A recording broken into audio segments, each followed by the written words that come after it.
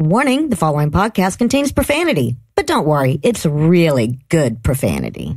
This week's episode of The Scathing Atheist is brought to you by Honey, Stamps.com, ZipRecruiter, and by the Cardinal Peloton, the stationary bike of legal proceedings. Pedal as hard as you want, Cardinal Pell. You aren't going anywhere. And now, The Scathing Atheist. This is Hemant Mehta from The Friendly Atheist, and we did, in fact, evolve from filthy monkey men.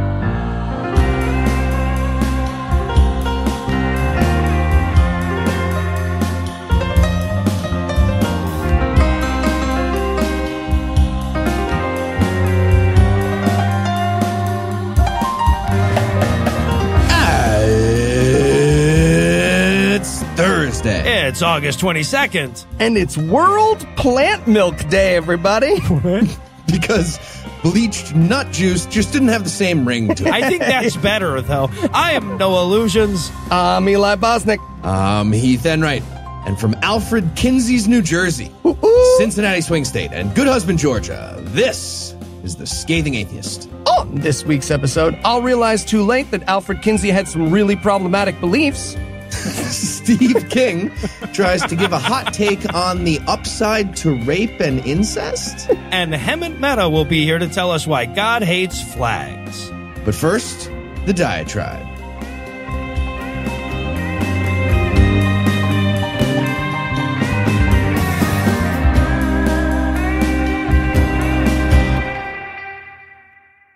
Okay, so if you haven't seen The Family on Netflix yet, I'm going to have to ask you to go ahead and do that. But spoiler alert Christianity did it.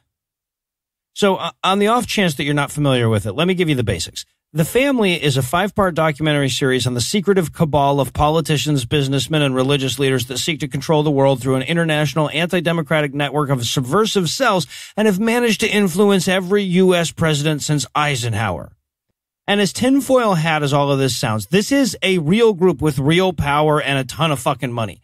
They're the guys that, that put on the national prayer breakfast every year. But despite this insanely visible annual flex, they really didn't rise to national prominence until the whole Mark Sanford scandal broke.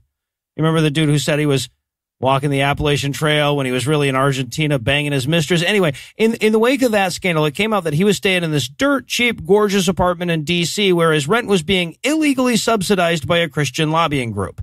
So in the wake of all that, the media starts digging into this group and finds out all kinds of creepy shit.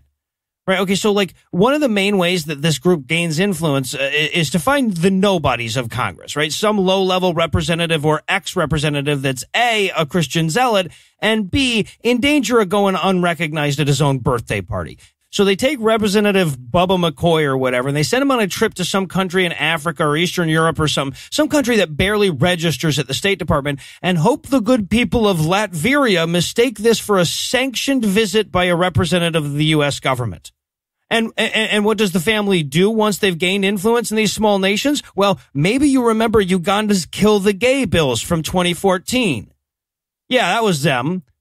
I, I mean, until it started making press back here in the States, at which time it wasn't them, if you ask them. If you ask the Ugandans that were enacting it, it was still very much them. And, and look, this is a diatribe, not a five part documentary series. So I'm just giving you the tip of the iceberg here. You should definitely watch the whole thing. Warn you ahead of time. It takes a little while to get going. First episode is basically a dude having a rough go of it at Bible camp, but eventually it's more than worth the time you invested. But I also have to issue a, a little bit of a warning because this movie's going to piss you off left and right, back and forth, up and down, and not just in the ways it means to. See, the thing I found myself saying over and over again throughout this entire thing was, but aren't these just Christians Christianing? Isn't the only thing that makes them different the fact that they're good at it? And maybe you dismiss that, right? Because I'm the jaded atheist who sees only the bad in Christianity, or, you know, probably not you, but you, you know what I mean. But I'd submit that most American Christians watching it would be hard pressed to find anything wrong with what these people were doing. Influencing foreign governments with the word of Jesus? Why, that's noble leveraging the apparatus of state to increase the centrality of Christ's message in government policy? Well, that's high minded. Cavorting with tyrants and malicious dictators and offering them the gospel's message of forgiveness? Why, that's saintly. And, and, I don't even have to invent hypothetical Christians to make my point. We could use any number of the ones interviewed in this documentary. Over and over again, they're presented with these radically anti-democratic things that they've done. And they're like, yeah, then they cooked up some bullshit about me being an unregistered foreign agent, apparently covertly undermining your own national interest in a quid pro quo with a hostile foreign leader is suddenly a crime. But I stand by what I did. Over and over again, the Christians wrap their arms around their crimes and give them a big ass hug on camera. And yet, the series goes out of its way over and over again to present the theology of the family as some weird aberration of Christianity, and they do it on the thinnest fucking threads. Here's a great example, right? So they talk about the story of David and Bathsheba a couple of times, and the family uses this as an exemplar of how bad people can still be chosen by God.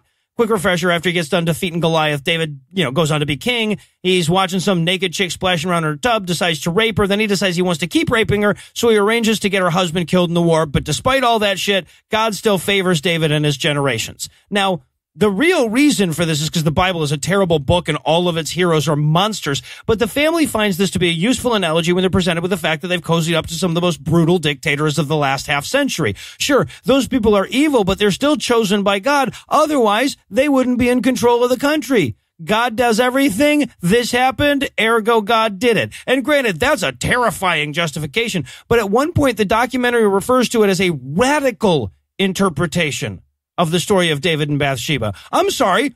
What the fuck other interpretation is there? How radical can it be if the vast majority of evangelical Christians in America can look at Donald grab him by the pussy Trump and see a man chosen by God? You know, don't get me wrong. I'm glad the documentary is out there. It's information that more people should have, but it inadvertently plays into the same problem it's trying to expose when it goes out of its way to find the real Christians that oppose the family's tactics and goals. And whether or not it does so knowingly, it never acknowledges that the progressive Christians standing up to the assault on the wall of separation is the diminishing minority. They're the radical offshoot, the megalomaniacal sexism that seeks to undermine the will of the people represented by the family is mainstream Christianity. They're talking about your Jesus. We interrupt this broadcast to bring you a special news bulletin. Joining me for headlines tonight are the Larry and Curly to my Mo, Heath Enwright, and Eli Bosnick. Fellas, are you ready to tell them what really happened to Shemp?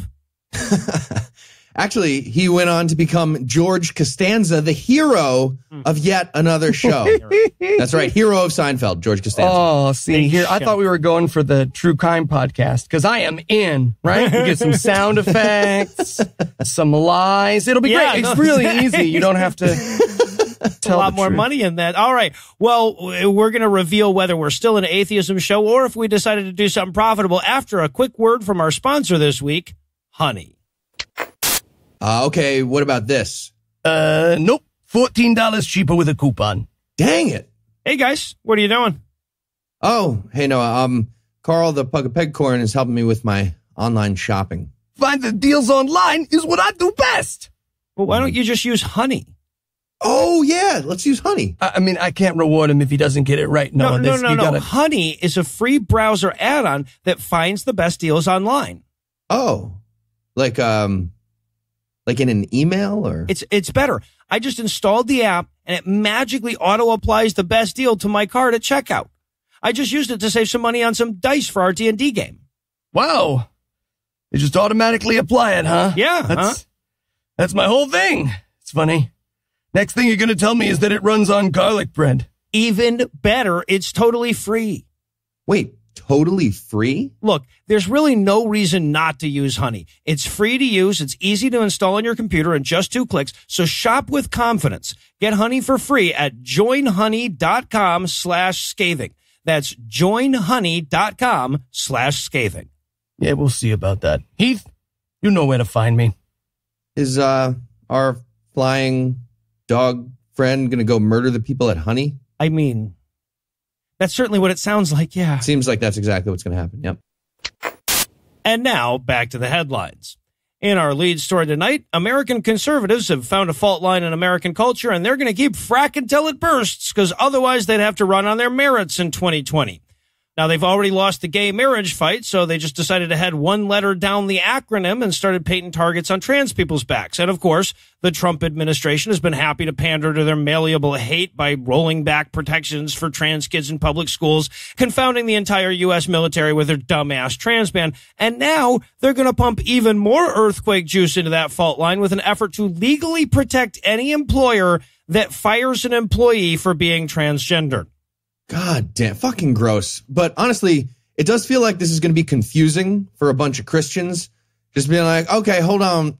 Shouldn't the, the boss get fired now too for, for hiring the transgender person in the first place?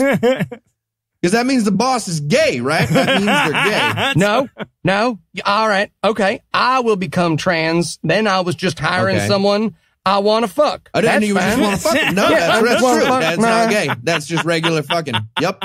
Now, obviously, they're not bothering with legislation here. Partly that's because you can't get legislation within six feet of Mitch McConnell without him eating it at this point. But another part is they gained a majority on the Supreme Court and lost their aversion to legislating from the bench so close together you could be forgiven for thinking they paid for the one with the other. So instead, they'd like John Roberts to do it.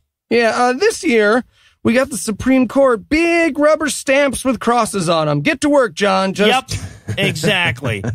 All right, so the case at the center of this revolves around the firing of Amy Stevens, a transgender woman who claims she was fired for no reason but her gender identity. And she offers as evidence her boss saying, no, yeah, we totally fired her for no reason but her gender identity. That's pretty good evidence. Yeah, but despite that evidence, a federal judge ruled that her employer did discriminate against her, but they did so religiously, so it didn't count.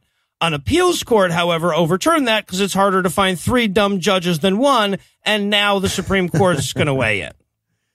Yeah, and just for the record, this boss, it's a it's a funeral home where she worked. Yeah, uh huh. This boss is claiming he fired Stevens because she wouldn't wear a manly suit to work. Yep. So now the Supreme Court is going to consider protecting the biblical doctrine of binary business wear.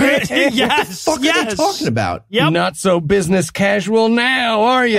and you know, I, I, I know, Brooke, this is the law now. Right? They know this is the law. Like, we gotta write this shit down when we turn it over. This is the legal equivalent of lighting a fire at a house party. There Yep. are consequences. We gotta deal with this now. Ah. Well, okay, so of course, if the argument is should this group of humans get human rights, we already know Yep. which side the Trump administration is going to land on. Nope. Uh, which, yeah, exactly. Which is why it came as no great surprise when they filed a brief urging the Supreme Court to not only overturn this specific ruling, but to make it clear that it's super duper legal to fire people for being trans no matter what. And apparently, their argument is that Congress had no way of knowing about the existence of trans people when they made laws against sex discrimination. Did they not? As, you know, as, as though they? trans people were a, a newer model that wasn't released until the 70s, I guess. Right. Yeah.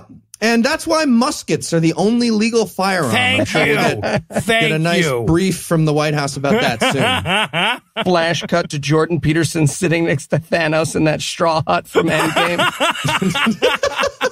Come on, Thor. You can do it, Thor. Um, and as bad an argument as that is, and as meaningless as it would be, even if it wasn't wrong, it's probably going to win the day because the Supreme Court is comprised of five faithful Republican puppets and four Supreme Court justices. So I'm sorry, was I supposed to put a silver lining here? Fuck. Silver lining, silver lining. If you ever read the arguments that overturned Dred Scott, we're going to get a whole new set of those, right? Yeah. we're just like every lawyer in the country got together and be like, fuck Jay in particular. Jay, what's his name? Fuck him.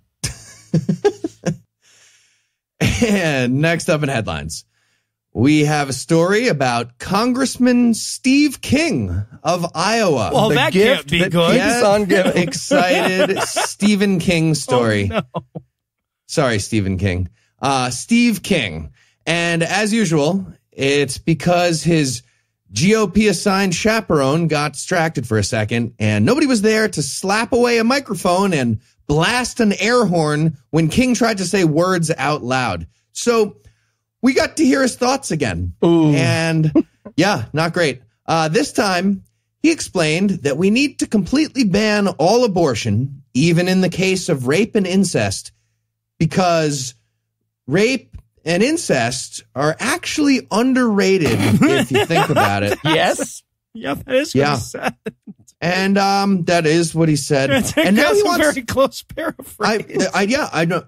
Seriously, not exaggerating. no. And now he wants an apology from the media. Yes. Um, all of them, I Yep. guess, just all media, because they put a negative spin on the the positive spin that he put on rape and incest. That all happened. Seriously, that all really happened. Yeah. Not, not just that. You are being too generous. You Yeah. could have just read the direct quote and been like, Right. and now he's mad that he said that on TV. Yeah, we'll get there. I'll give you the quote in a second. All right. But yep. Okay. So I get why they have the single chaperone guy. That makes a lot of sense. But it is incumbent upon the entire GOP and everyone that ever voted for him to carry around air horns for these occasions, right? Like that guy's got to pee and sleep or something. Whenever Steve King starts a sentence with, well, the thing about rape and incest is the air horn should be audible from space.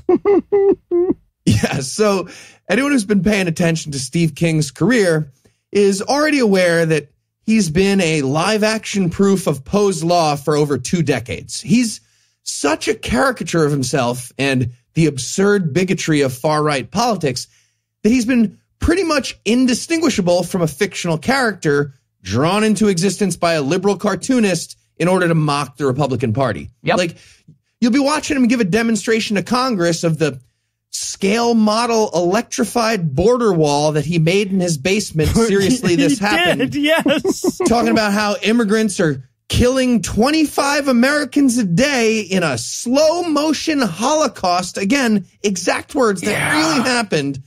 And and you're thinking to yourself, okay, but this can't possibly be reality. There's no way. But then you spin your inception top to check and you see babies in cages and you see New York City having an outbreak of the rickets in 2018 and 2019 and Steve King's yelling another ethnic slur on the house floor and the, the top morphs into a giant locust and it's got Ann Coulter's face and the tail of a scorpion and starts hovering above you. And you really can't tell if it's a nightmare or if it's just normal 2019 stuff. It's a tricky time to be alive. I am very scared all the time. He's just walking through a rain of menstrual blood carrying a blue torch. Yep.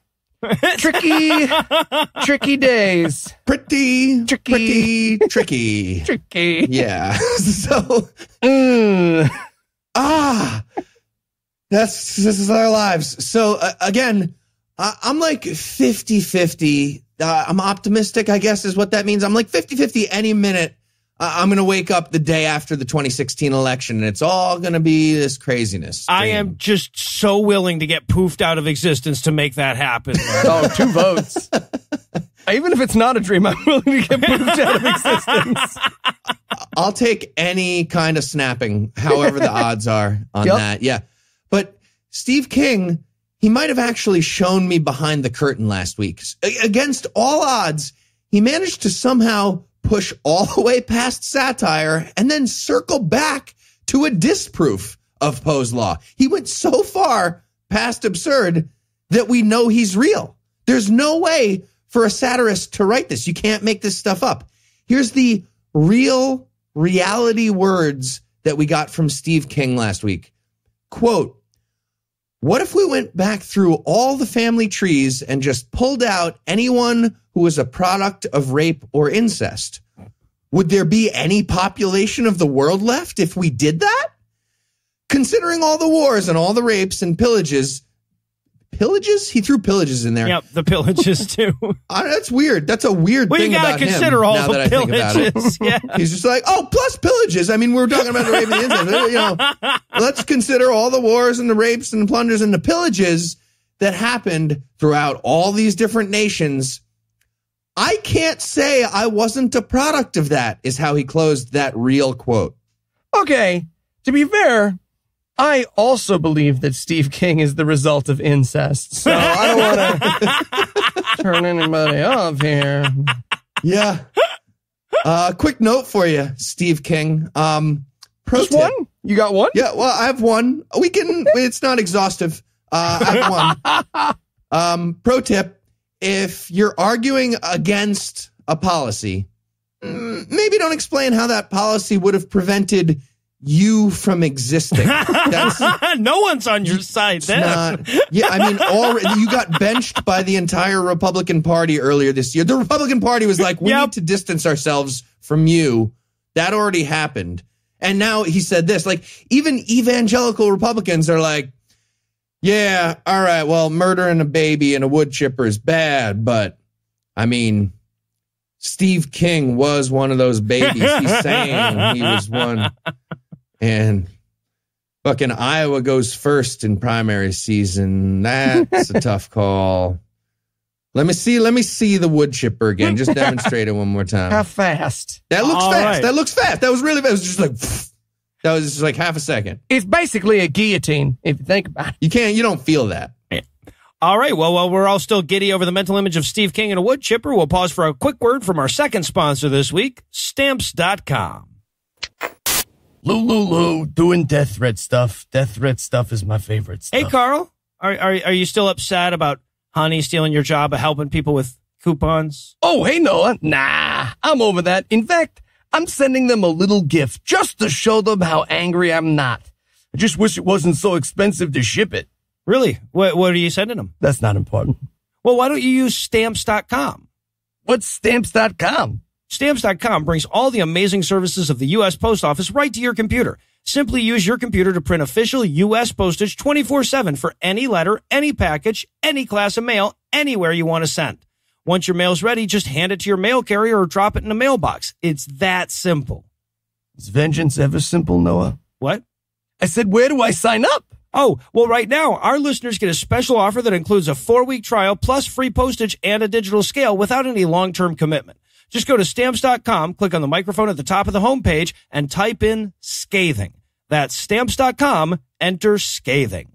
Stamps.com for when your vengeance needs to arrive by mail. I'm, I'm pretty sure that is not their tagline, Carl. It will be. A man wrote the Bible. A whore is what she was. If it's a legitimate rape, makes you a slut, right? Cooking can be fun. Hey, I'm proud of a man. This week in misogyny. For a long time, I wondered how we could possibly be losing in an intellectual battle against such stupid opponents. But over the years, I've come to realize that their stupidity actually winds up protecting them. See, the judges in this fight are the vast swath of America that isn't paying attention to this shit. And when you say, hey, we've got a very real problem that you should take very seriously and here's Steve Anderson to personify it, it's really hard to expect other people to take the threat seriously. So keep that in mind as I parade a bunch of idiots before you today. Starting with Tennessee pastor Randy Davis, whose state is poised to be the fifth to enact a heartbeat bill to effectively criminalize all abortion. So Davis is, of course, speaking in favor of this affront to women's liberty. And unfortunately for him, Democratic State Senator Katrina Robinson got to ask him a question. Here's the exchange. How many women executive pastors do you have in your convention? How many women executive pastors? Or senior pastors? None. So is it the same ideology that uh, restricts access to women being able to lead a congregation that leads you all to support women not being able to make a medical decision about their body? I don't. I don't think the biblical interpretation of the leadership of church has any of churches has anything to do with the question before us. And if you're wondering, that three second pause contains the greatest raised eyebrow since the silent film era. But of fucking course it has something to do with it. The fact that you work in the most sexist industry allowed to exist in this country probably factors into your thinking. Anyway, one other idiot for you. And this one comes in the form of a Duggar. This one is Jenna Duggar, and the internet's been having a little fun with her after somebody noticed that before posting a picture of herself at the fair on Twitter, she took the time to Photoshop modest skirts onto a couple of girls behind her. The picture is amazing. I've seen more convincing clothes on a paper doll.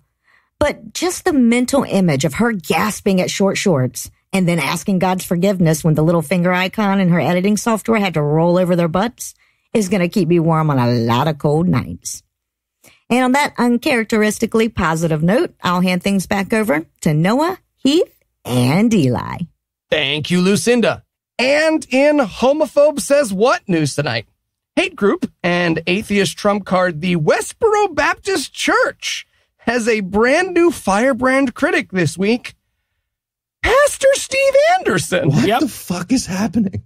That's right. Organizer of the Straight Pride Parade and man who's been banned in more countries than that Faces of Death VHS tape took the WBC to test this week for being too anti-gay. Okay, all right, but I feel like this is analogous to the like the way Loki hisses when the kittens get near his food bowl. You know, It's like uh it's like two Nazis goose stepping down the road together, and one says to the other, like, dude, it's Jewish people will not replace us. Please say out the whole word. You're a bigot. Yeah, well, his issue seems to be that they aren't pro fruit enough. I don't know. Okay, so here's the quote. And before I read this, I want to point out that this quote makes exactly the same amount of sense if Steve O is talking about salvation or what's in the fridge. So just keep that duality in mind. Quote, you know, there are ministries online. All they do is just destroy, root out, put down, throw down. You're like, man, I'm loving this hard preaching. This guy knows how to throw down. This guy really is ripping some face. ripping. We learned so much about Steve when he has to reach for a metaphor, right? So you know how Christian preaching this is a lot like skin masks, right? so Yeah. bear with me. He he continues. Stop bearing with me. I just good. Come back. to Please me. Don't back bear to with me. Yeah. Yeah, He continues, okay, but is there any fruit? Is there any building going on? Is there any planting going on? Or is this all negative all the time? Look, we could go on and on about examples. You know, one famous example is the Westboro Baptists. False prophet. The guy had the wrong salvation, wrong gospel, wrong doctrine, not saved, total heresy, and he's just getting up and ripping on homos all the time. But when did he ever get up and preach the gospel of Jesus Christ? Never. You know, I got a lot of negative things to say about having negative things to say all the time. Shit, time loop, time loop. Hold on, give me a minute. Got sucked into my stupidity singularity again. Okay, I'm back. I'm back, guys. Uh, one second, I gotta go fire myself for being trans. It's a whole thing. And then I gotta fuck myself. I don't know. Yep. Here's here he, he concludes. When did he ever have a positive message about reaching people with the gospel, winning souls, all the good things? Never. Why? Because he had no fruit. He's without fruit, twice dead. What? He's a tree whose fruit has withered. End quote. He? All right, let's do something positive. So, who wants me to arm wrestle his wife right now? Let's go. Let's do this. Some pie, and then uh, plant fruit. I guess I, I'm stuck in a loop again. I don't. It's, I was trying to get fruit into it. What was I saying about skin masks? Okay, but here's the best part of this. Okay, the Westboro Baptist I'm Church are attention whores. Uh, most people don't know this, but they actually make a ton of their money by suing people who punch them or yell at them or cities that don't let them be terrible close enough. So now, and this is really great, there is a solid chance that the WBC is going to picket Steve Anderson. And in response, he is going to fucking get banned from their country. Either way, in the words of Mr. Godzilla himself. Um, super not that guy's name. He's I got a just a name. Ken Watanabe. Actually. Yeah. Mr. Godzilla, Okay. let them fight. And finally tonight, we have a story about uh about this guy. Here's a couple photos for you guys. You guys I have Stop. never regretted not being a visual medium more. All right. Well, for everybody at home, this is Pastor Todd White of Lifestyle Christianity Ministry. I'll give you a second to Google him. Definitely click on images, please. there you go. And honestly, this guy's physical appearance can easily be the whole story. like normally we talk through a thing, it's a news story, there's something to it. This could be the whole story. You guys are Googling it. Just look at him. That's, it's so fun. It's so fun. But That's all you need. I'd even say the story, there is a story. I'd say it's implied by his physical appearance, though, and vice versa.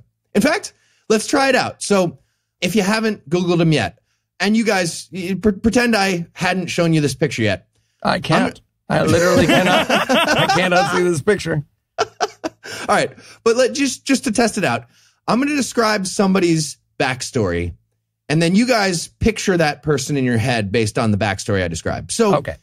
imagine a guy who got caught doing drugs, Noah. um, pretended to find Jesus to help him get out of trouble. Never Noah, mind. Noah. Not Noah. um, became a pastor to back up that lie, stole a visual affectation from another culture just to get more attention as a pastor, and then claimed to make a polio victim's shortened leg grow out three and a half inches by praying just while he watched it happen. So, are you picturing a middle aged white guy with dreadlocks and a soul patch that looks exactly like a late 90s pubic hair landing strip? Is that where you guys were at? That is what I pictured. Yep. Okay, well, you nailed it. That's Todd White. Listener, he looks like Dr. Cox took the second divorce super hard and decided to move to a sandals resort forever. I like honestly, I literally needed to find video of this guy in action to ensure Heath hadn't been duped by a bad Photoshop. yeah, that's fair. Normally, your face is the same size relatively as your head. Eh, Not in this instance. No, not in this case. So, normally, I might skip over this story. Um, it's just a pastor telling a blatant lie. Uh, that's that's the job. Not really newsworthy. But first of all, he looks like the predator got laid off from hunting humans and got a job at Bonobos. His sad little retirement from predating. Um, so so that had to be addressed. The- He we had he to looks talk like about this. Miss Cleo's love interest. He looks like a like a tasteless biopic about Toni Morrison starring the Rock Dwayne Johnson. It's too soon. Also, uh, he told the exact same lie that I heard from a kid at Georgia Southern University during their Ask an Atheist Day a few I years forgot ago. about this. You Remember, so Noah. Noah and I went to this. Yeah. Remember that? Oh yeah, Yeah, it was in like some Statesboro, Georgia, I think. So the the kid he, he comes up to me and he's like, "Okay, atheist, would you believe in God if you watched him regrow a leg?" And I was like, "Well, that's a dumb sentence." And he was like, "Well, I regrew a leg with the power of. God." and, and I said, "Oh, cool. So, um, how's your tour of all the hospitals going?" And he said, "What?" And I was like, "I said you're a liar." I said you're a liar. Well, the same thing happened with Pastor Todd White, except he's even dumber about the lie than that dumb kid at Georgia Southern. Uh, especially the part where Pastor Todd White mentions multiple times during his story that the guy he healed was born with polio. Really? Which is impossible. It's not genetic. Nope. You can't be born with polio. Don't pass down the polio. Also, I can't promise you much, but that kid rehashes that argument every time he takes a shower and he still loses. He still loses. Heath was in a livid rage for three solid months after that conversation. You could not talk to him about literally anything except that young man and the words he said. God. You'd be like, how's your salad? And he'd be like, regrew. He's not at hospitals. He's a liar. Yeah. what does he think he saw? right. So, in honor of dude bro pastors and I guess in honor of cultural appropriation, let's put however many seconds on the clock. Keep roasting Pastor Todd White's physical appearance. Go. I was hoping. Uh, he looks like Aretha Franklin Graham. Ooh. He's like a slam poetry bouncer, which is confusing. Uh, he looks like if Patchouli could have a dad. He looks like he needs to shut the fuck up and finish cutting out those lines. It's like he's the lead singer for Age Against the Machine. he's so sad. He looks like the love child of Whoopi Goldberg and protein powder. All right. Well, confident that our own physical appearances are beyond reproach, we'll close the headlines off for the night. Heath, Eli, thanks as always.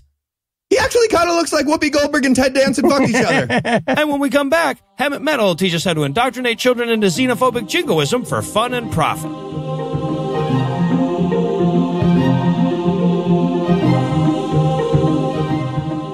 Must provide your own sniper rifle. What? Hey, uh, Carl, what you doing there, buddy? Oh, hey, How you doing? Uh, the folks over at Honey didn't seem to get the message I sent them about honing in on my coupon business, so I'm, uh, I'm hiring someone to take care of the problem. Wish it wasn't so hard to find someone professional, though. You know what I'm saying? Oh, well, I mean, if you want a professional, you should just use ZipRecruiter. What's ZipRecruiter? Oh, it's the smarter way to hire. ZipRecruiter sends your job to over 100 of the web's leading job boards. But they don't just stop there. With their powerful matching technology, ZipRecruiter scans thousands of resumes to find people with the right experience and invites them to apply to your job. Right, so they could like recommend veterans of urban wars, special ops, stuff like that. Uh, I don't think they have people like that, but um, ZipRecruiter is so effective that four out of five employers who post on ZipRecruiter get a quality candidate through the site within the first day. Wow, that sounds fast and effective, but mm-hmm. it must cost an arm and a leg, right? Not at all. Right now, our listeners can try ZipRecruiter for free at this exclusive web address, ziprecruiter.com slash scathing. That's ziprecruiter.com slash S-C-A-T-H-I-N-G. ZipRecruiter.com slash scathing. The smarter way to hire. Yeah. Uh, well, who are you trying to hire anyway? Why do you ask so many questions, Heath? Never mind, I guess.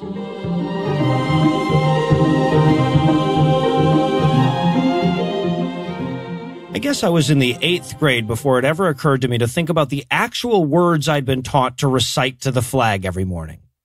Now, this litany had long turned into a syllable slurry, rendered meaningless by repetition, so much so that I actually had to make an effort to turn all those sounds back into words. And when I did, I realized I'd been saying some weird shit. So after the liberty and justice for all that time, I turned to the kid next to me. I said something along the lines of, isn't it weird that we're pledging allegiance to a design on a piece of cloth? To which this random 12 year old in Podunk, Georgia responded, you got a problem with our flag. Now, I didn't realize it at the time, but apparently I had just blindly stumbled into a controversy that was nearly a century old even then. And in the intervening time, the reasons it seems strange to me to have school children swearing fealty to a polyester rectangle have only multiplied, but I've got to admit, even after 30 years of reflection, I never really grasped the exclusionary, jingoistic, xenophobic history in full until I heard it from my guest tonight. Hemant Mehta is the author of I Sold My Soul on eBay and the Young Atheist Survival Guide. He's the host of the Friendly Atheist podcast. And of course, his blog, The Friendly Atheist, has been the gold standard in atheist news sites for more than a decade. But I've asked him on today to talk about his newest podcast project, The Supreme Court versus Church State Separation, which debuted with a four episode season entitled The Complicated History of the Pledge of Allegiance. Hemant, welcome back, man. Noah, thank you. It's been way too long. So, okay. First obvious question why start with the pledge? What what got you interested in this topic specifically? So I was looking to do a project of some sort, and I thought, you know, taking a deep dive into some issue that's connected to church state separation, I, I don't think I would get bored doing that. And I thought, well, let me try to go into depth with some of the Supreme Court cases that involve church state separation because we only ever hear about a handful of them. And some of the ones that a lot of other cases have been built on, we don't always know the backstory of them. So that's what I thought would be interesting. And I started compiling a list of all the cases that, you know, maybe spending a day or two digging into the history of, you know, case number one. And then I would do it again for case number two. And I thought, you know, it'll be interesting to start with these Pledge of Allegiance cases from the 1940s because the only pledge case I ever hear about is the Michael Newdow one, which happened, you know, a, a couple of decades ago, a little less than that. And the more research I started doing into those original ones, and I knew a little bit about it, just not all the details. The more I looked into those cases, the more I realized, oh my God, there's way more research to do. You know, you you go down the rabbit hole and all this other stuff starts popping up and I realized there's no way I can handle any other story. Like I just got to do this one. So why don't I just put all the Pledge of Allegiance cases together? There's been three of them and try to tell a bigger story about the Pledge of Allegiance. And I'll set aside all the other ones that involve atheism and the Supreme Court, save those for another day. And this is the end result. Like you said, it was four episodes. It's, I think my written draft of the whole thing was like 50 pages long. Wow. Um, and it's because the more I start, you know, oh, here's an interesting story I want to tell. Oh, but to make sense of that, you got to go into this. Or here's an example. There was the first Supreme Court case that said everyone has to stand for the Pledge of Allegiance. And then literally like three years later, the same Supreme Court, different makeup, but the same court said, hey, you don't have to say it anymore. It's totally optional to try to make sense of wait, what the heck happened with the Supreme Court to change its mind and do a 180 on this issue that fast, which never happens. Trying to explain the story of what, why did that happen? What was going on to make that happen? It just took way longer than I thought it would, but I thought none of it was fluff. I thought it was such an interesting story that you have to understand it in depth. And it really does tell a bigger story about, you know, just the history of church state separation in this country and how powerful the Christian right can be when it wants to be. Yeah, it's one of the things I really enjoyed about it is how it snaked through a lot of the different arguments and debates and fights that we're having today and, and, and sort of gave origin. I guess that's how you know you've got a good historical topic when as you're researching it, you're like, wow, this is way more interesting than I thought it would be, right? Absolutely. And how many parallels there were to what's going on today. Like, I thought we were done debating the pledge. And occasionally you'll see a news story pop up about a teacher who said, Hey, all kids have to stand for the pledge. And it's like, oh, they can't do that. That's wrong. And then that story goes away. But the fact is, there was a lot of stuff that involves the history of the pledge that, without saying the pledge, we are still discussing today, such as, you know, the nature of immigrants in this mm-hmm. country, which is a whole big chapter of the Pledge of Allegiance. And obviously, we've seen that debate play out now. Yeah. Well, okay, so I've got to admit, because I'm an avid follower of your blog, and when I first heard that you were going to do what was going to amount to like three plus hours of serialized history on the Pledge of Allegiance, I kind of doubted you. Right, I wasn't yeah. sure that you could keep that interesting for four full episodes. It's nothing personal, but like filling a show with nothing but your voice is not as easy as Dan Carlin makes it look. I, my thoughts exactly, my friend. okay, so uh, now I, I, will say I, I I'm going to spoil the suspense for the listeners. You totally pulled it off, but can you speak to us about some of the challenges that you faced in, in trying to put something like this together? it was a lot of research, but as someone who has listened to Dan Carlin a lot, I think the whole thing is look, if I'm going to be bored putting this together and doing the research, I can't expect anyone else to listen to it. And the thing is, the more research I did, and, and I'm talking not just reading books about the Pledge of Allegiance, but reading law review articles about the pledge and about the legal cases involving the pledge, not just you know, here's the Reuters or AP article about what they said in the courtroom. Mm-hmm. The people dissecting what the what the Supreme Court justices wrote and how it could be manipulated. I mean, that to me was really interesting too. And so it wasn't boring to me to do the research. And I figured, okay, if I can tell you this stuff in my own words, I think you'll be as interested in what I'm hearing as I was when I read it. All right. Well, I'll tell you what. Obviously, you know, you had uh, almost four hours of, of story to tell here, so we're not going to be able to to do more than I get a few brushstrokes of the history here. But if you could uh, sort of set us up here, it, what is the Pledge of Allegiance? Where does it come from? And and what was it meant to do? Sure. So the the thing it was meant to do, which I don't think we ever talk about this these days, because it today we think of it as a symbol of patriotism you know, how much do you love the country? And the truth is, it was designed as like advertising lines to sell flags for a magazine. They were like, well, if we have kids say something to the flag, maybe people will buy more flags. That's so American. That's totally American.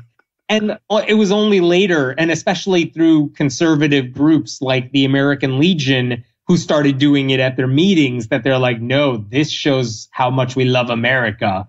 And so it quickly turned into a more patriotic ritual than anything else. And uh, I mean, look, if you know nothing else about the pledge, but you are an atheist, someone who's listening to this podcast, maybe you know, you know, it was written by a socialist minister. It did not have under God when it was originally written Under God was placed there in the 1950s to distinguish us from those godless communists. That's kind of the, the Cliffs Notes version of what the pledge is, of the history of the pledge.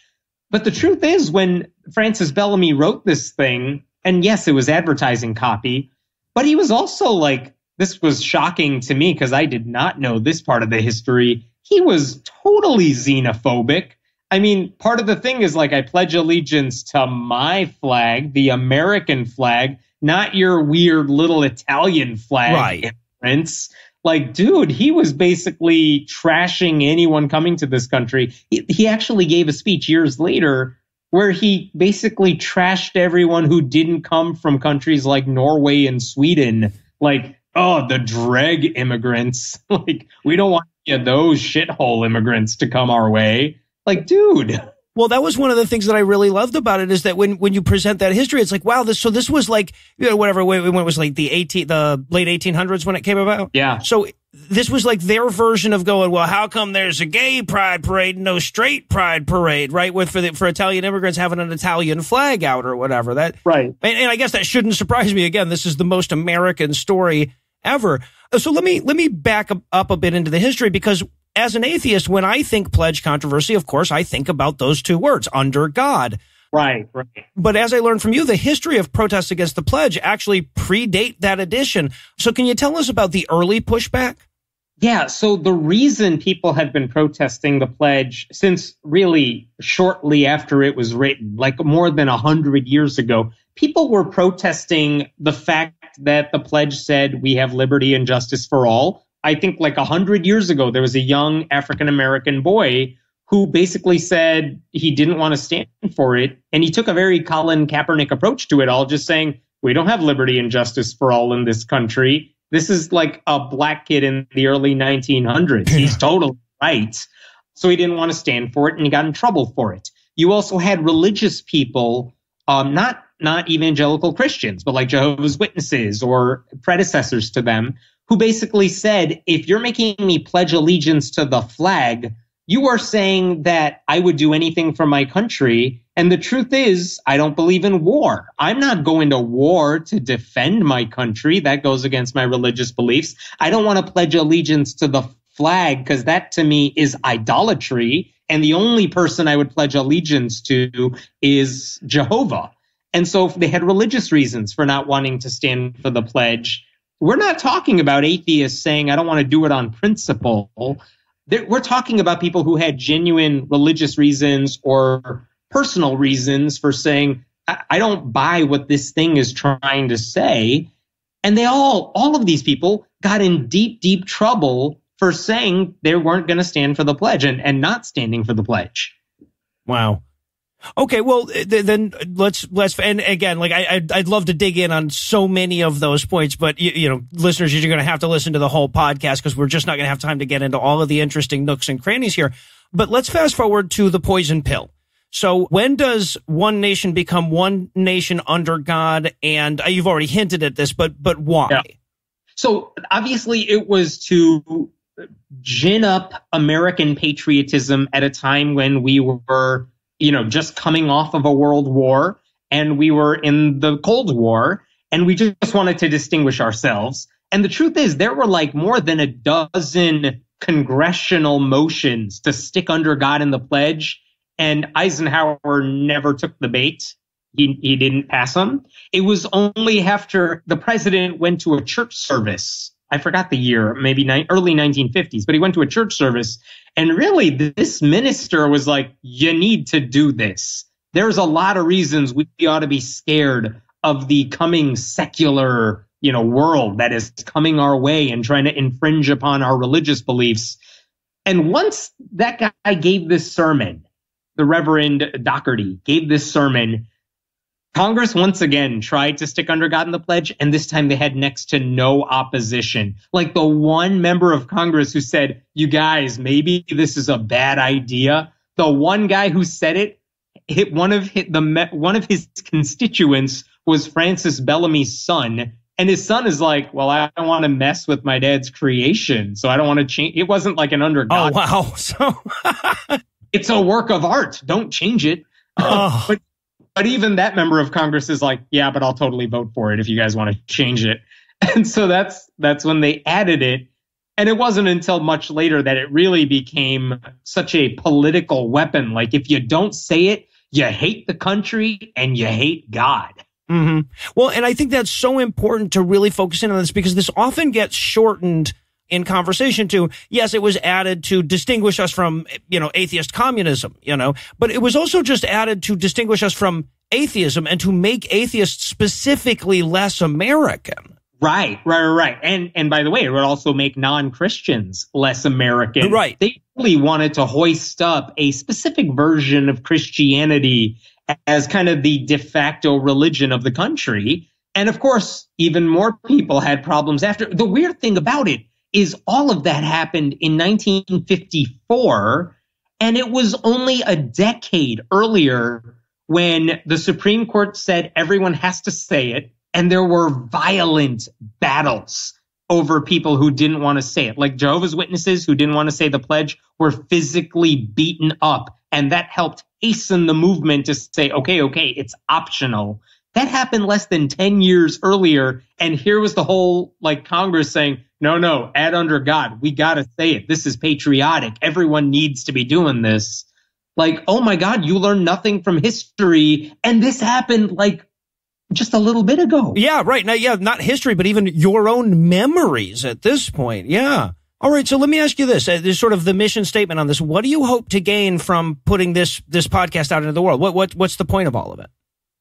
So to me, there's, there's a couple reasons I really wanted to do this project. One is that I think a lot of atheists could already tell you here's why I have a problem with the Pledge of Allegiance.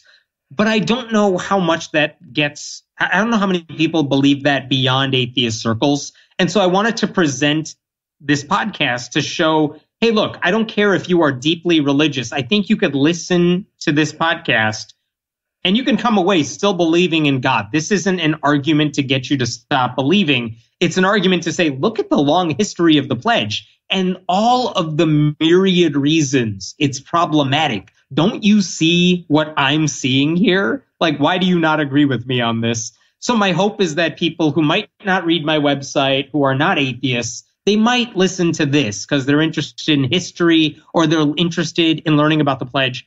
And they would come away from this thinking, wow, the pledge is way more problematic than I thought it was. That's that's my goal in putting this out there. And by the way, I hope to do that with the other Supreme Court cases that I didn't get to in this go round in the future.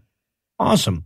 So, okay, well, uh, let me toss out one more big endorsement. Uh, this new show is super informative, super entertaining, super funny. Unfortunately, in the world of podcasting, as I've long ago learned, it's never about what you just gave us. It's about what you're gonna give us. So you've already kind of hinted around about some of the things that you might be thinking about uh, tackling next. Do you have any ideas of where the show goes after this?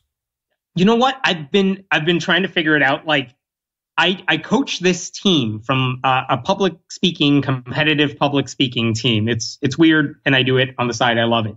It's competitive from like October to February, and so this po- pledge podcast I started doing after that ended, like in March, and I spent two or three months researching it, and I'm like, yeah, this is interesting. Let's see what I can do by putting it out there. Let's see if anyone's interested, and it worked out, but it took a few months to put it all together what I think I want to do is look into a couple of the other big Supreme Court cases. Obviously, the one that is probably the most famous one is the one that took mandatory Bible readings out of public school. And that wasn't just Madalyn Murray O'Hair. Uh, there's other cases that got involved in that. It's one of these things that when you say, I'm going to study this one case, it's actually like four cases that Right. all together. And so I've I kind of am collecting resources right now. And once our competitive season ends, I might go back for that deep dive again. But I need a break right now from all of this. Like clear my head. I'll return to it in February or March. It take a few months to put something together. And once I'm ready, I'll bring it back out and we'll see what happens. All right. That's well, the hope. Yeah, the, the good news is for, you though, the leader in the industry of serialized history podcasts has already established a once every 13 years release schedule. So no matter what happens, you're going to be like lightning fast compared to these guys. Well, I, I want to say again, if you haven't listened to the show, you should absolutely check it out. There will be a link to it on the show notes. and it was it, again, it was entertaining. It was informative, and what what really surprised me is that by the end of it, it was actually very uplifting. I, am shocked yeah, by how empowered I felt after listening to four episodes of us losing this fight every time we fought it. I totally hear you. And again, I hope that one of the things people take away from it, especially if you're listening and you're in school where you have to say the pledge, is you come away with a lot of respect for the people who stood up to the pledge, including the very courageous religious people who stood up to the pledge. It's like, wow, look at what it, as an adult now who is a public atheist, I would find it really awkward to stay seated if people around me were saying the pledge at like a city council meeting. Yeah. And yet you have these teenagers doing it in school. And it's like, oh my goodness, like they stand to lose friends and they might be unpopular. And it's so hard to do, much less a hundred years ago. Yeah. And they did it. And it's amazing what they were able to do because of that. And so I hope it is uplifting. I tried to make it uplifting at the end because because it can be like the people who stand up to the pledge are really incredible people. And so I hope they get that. The, the podcast, by the way, I should say, it's called the Supreme Court versus Church State Separation, which is a broader title than just the Pledge of Allegiance. Mm-hmm. But it's the Supreme Court versus Church State Separation. And like you said, the first season is about the pledge. I hope there's a second season, which will be next year. We'll see how it goes. Uh, I was fortunate that people were interested in this topic enough and maybe next year they'll say, all right, you, you did the thing you said you were going to do. Even more of us are willing to take a chance to see what comes next. Well, I, will tell you, I'm certainly hoping for a second season as well. So, Hemant, thanks so much for your time. Thanks for putting this into the world, and uh, thanks for all the work you do, sir. Thank you, Noah. Likewise, and thank you for anyone uh, who listens to it. I'd love to hear back from you uh, if you get a chance to listen to it. I'd love your feedback too.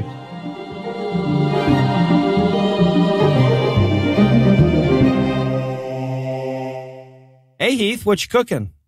Oh, hey, Noah. Uh, Carl and I, we're just making a brand new meal from Blue Apron. What's Blue Apron?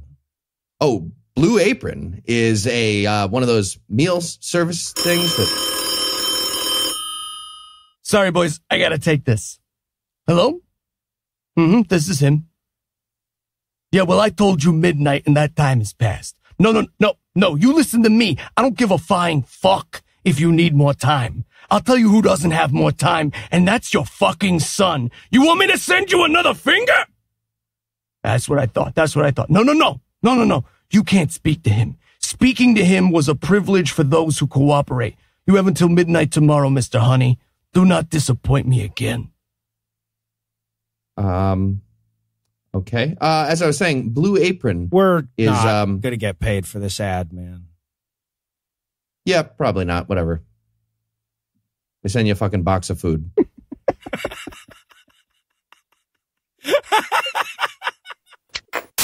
Before we live happily ever after, I want to remind you that we're going to be doing a live citation needed doubleheader in New York City on October 12th, and you can find a link to get tickets in the show notes. What's more, you should.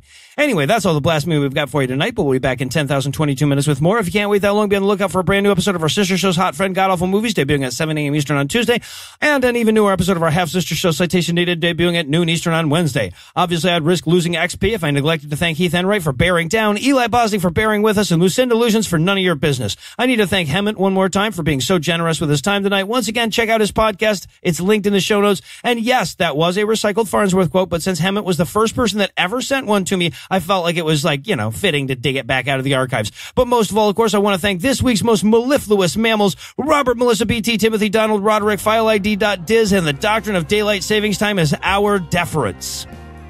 Our deference. Robert, Melissa, and BT, who are so badass that previous badasses had to get demoted to good asses. Timothy, Donald, and Roderick, whose dicks are technically prehensile if you wrap them around the limb enough times. And File ID and the Doctrine of DST are so sexy they give cellulose wood production envy. Together, these eight idyllic eyefuls idealized our iconoclastic irateness with an iota of icing this week by giving us money.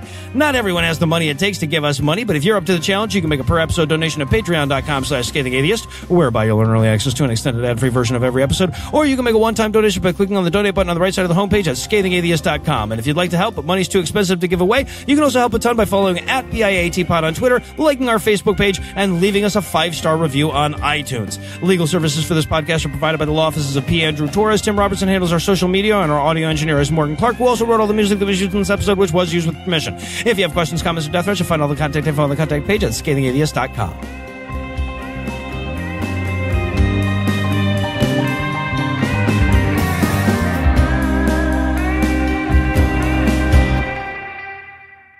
Are you guys Shemp fans? Nobody's a Not Shemp Shemp fans? Nobody's a Shemp fan, man. Shemp fans. Shemp's not a Shemp fan. Nope. He preferred Curly. the preceding podcast was a production of Puzzle and a Thunderstorm LLC, copyright 2019, all rights reserved.